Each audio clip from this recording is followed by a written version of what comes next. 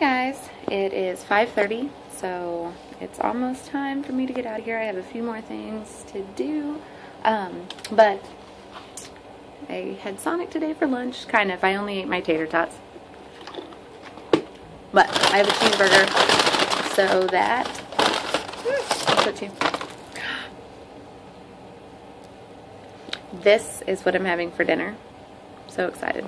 I love cheeseburgers. Um I hope that you guys have a good dinner and I am going to be calling you um, here shortly. I'm going to take a finish up here and then take a shower first, um, change clothes like normal, and then I will call you. Mm-hmm.